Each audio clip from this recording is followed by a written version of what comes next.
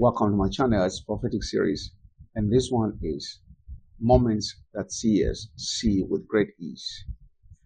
There are moments that the prophets that attempt seers because they are able to see things in the spirit with ease and are able to access about all of the message that God passes across to them or conveys to us through them or to his people through them uh, is appreciated via their seeing aid or, or spiritual seeing aid uh, are able to see with ease. So special moment defines or determines whether they will be able to see with great ease or they'll find it difficult to see.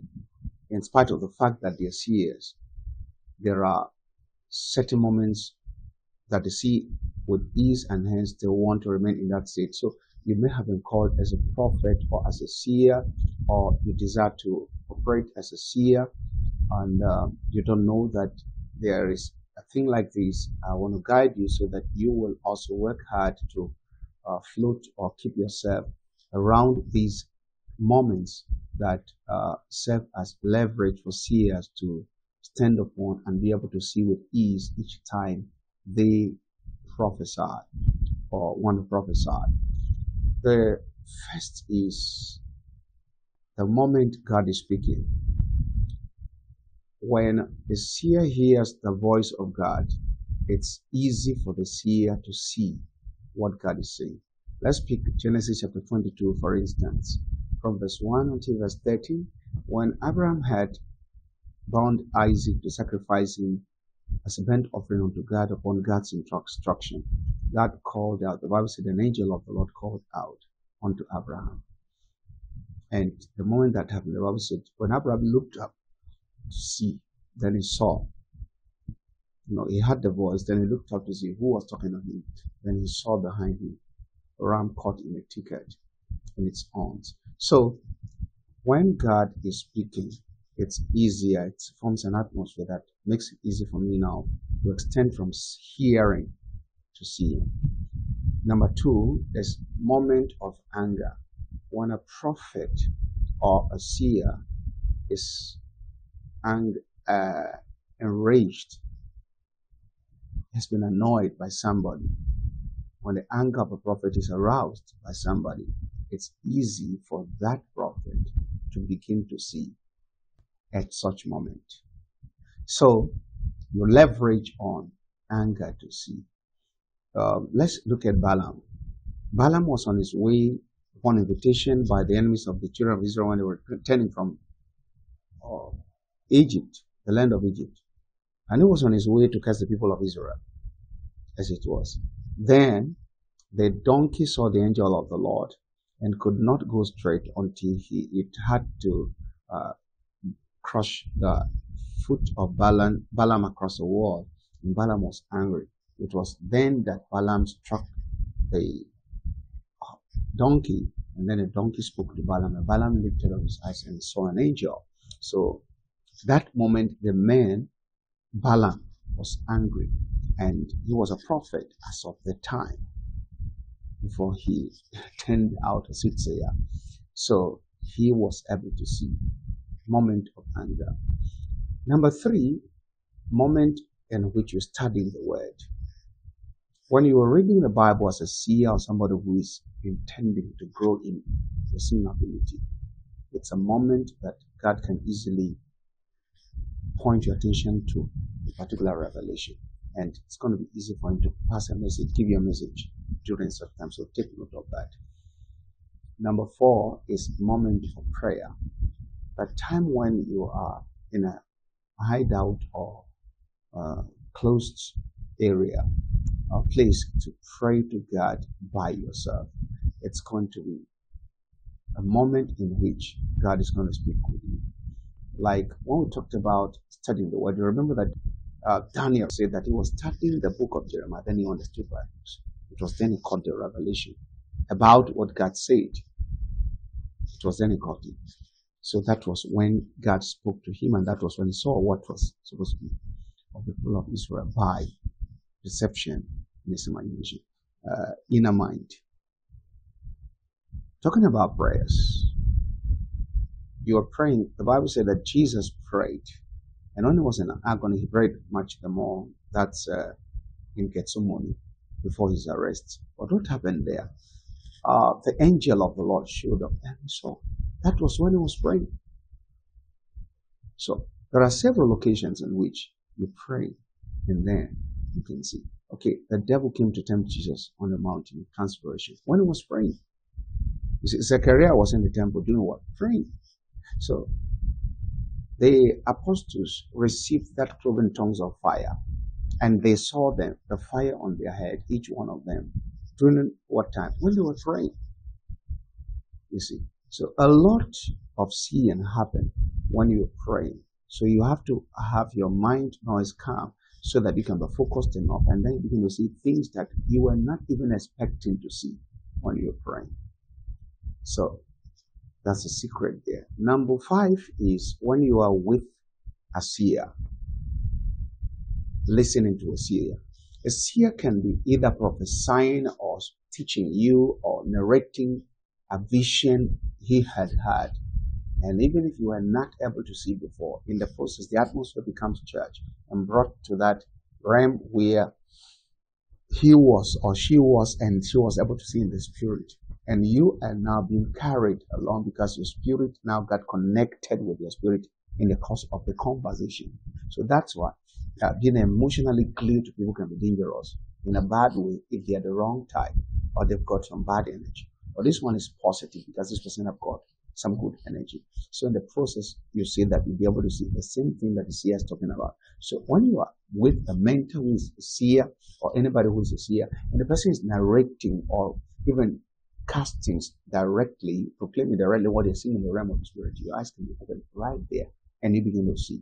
So you leverage upon it to have that repeated encounter over and over until it becomes your regular kind of life. But this has to do with some other structural exercises that are scripturally based and not to keep you uh, floating at this level.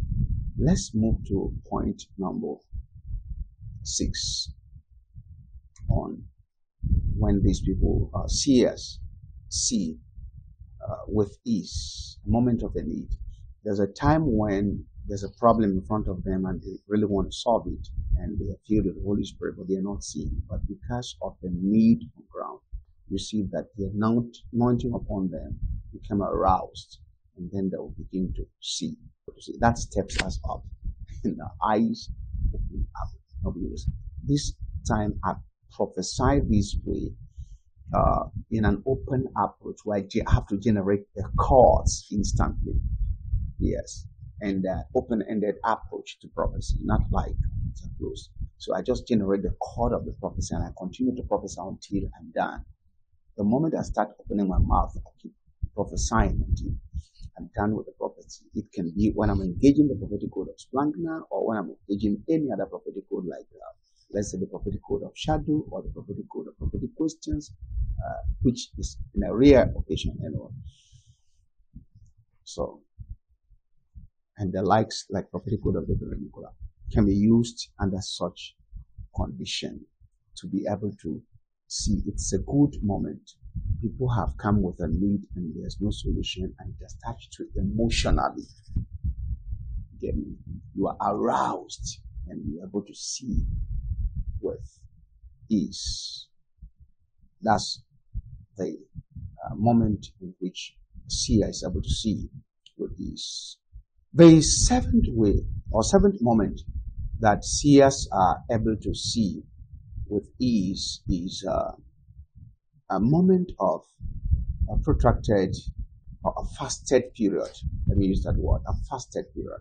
That's to say that they were not particularly fasting to see, but maybe they were not even planning to fast on this occasion, but something happened and they didn't take their meal from morning to let me say 6 p.m. or 7 p.m. of that day its electrically charged moment of an atmosphere for seers to be able to see, provided the man is not contaminated. So if a seer, uh, one who desires to be a seer, can practice a fasted kind of life, it will bring them to that place where they can catch some visions here and there until eventually over time from information and proper awareness enhancing their ability they are able to be lodged in the prophetic where see and become consistent enough for them. Number eight moment that see with ease is when they are teaching about the power of God or about seeing. That's to say, when I begin to refer to a place where a seer in scripture was seen or a contemporary seer was seen, it now excites my seeing ability, propels me to see. And this is for somebody who is already seeing, but is uh, weak for that occasion and cannot break into that realm. So, talking along the line, discussing to the line of um, seeing, something that has to do with seeing from scripture, where a prophet saw, or a seer saw, or a contemporary seer saw something that was accurate or forensic, now excites you, your own ability, initiates you into that atmosphere or realm, and you begin to see with that level of ease. The eighth uh, moment that uh, the seer is able to see with ease is upon demand. Somebody can come to you and ask for a help, like Saul came to Samuel, and Samuel was called a seer in Samuel chapter 9 from verse 5 down. And Saul came to Samuel to seek his uh, prophecy. Now, God did not tell Samuel anything about Saul coming in terms of what Saul was coming to ask for, but God told him about, I'm sending you a king for my people. But the problem that he brought was the donkey that were missing. And Saul told, Samuel told Saul that they have been seen because he came to demand for these prophecies. So when somebody is coming to meet you with a need as a seer, it's a time when you can look inward and have an inner vision with this to be able to solve the problem. So it opens you up to see what the need uh, on ground is, and you are able to even go as far as solving the problem that you have come back with seeing that's uh, a point or moment that seers are able to see uh, with ease. The next uh, moment is a moment of impartation. That's number nine, moment of impartation. A moment in which you are under a seer, not just listening to them, but a seer lays their hand on you. That very moment can be a moment in which a flash of vision or flash of visions will come. And if you come as a young seer around such atmosphere over and over, it will come to a point that it will be fairly, uh, you'll be fairly stabilized, particularly that you are engaging the other parameters effectively. It becomes easy for you to do that. And um, lastly, for this video, number 10, which one do I pick? Because there are too many of them. Let me just try to uh, conclude with one, the moment in which you are narrating a previous vision. So when you're narrating a previous vision, a vision you've had in the past, it gets the atmosphere charged again. And then you're brought to that same realm where you cut that vision.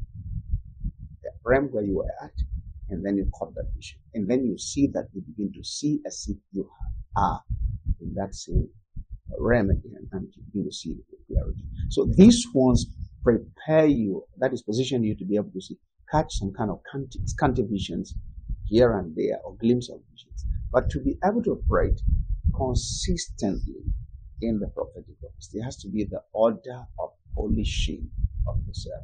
The positions you to be able to leverage either these parameters or even uh, involuntary or voluntary parameters of doing the property scripturally and then you are able to see with consistency. Seers are people who see predominantly everything they prophesy about. So with this, I want to stop here. In case you're new, you subscribe to my channel now.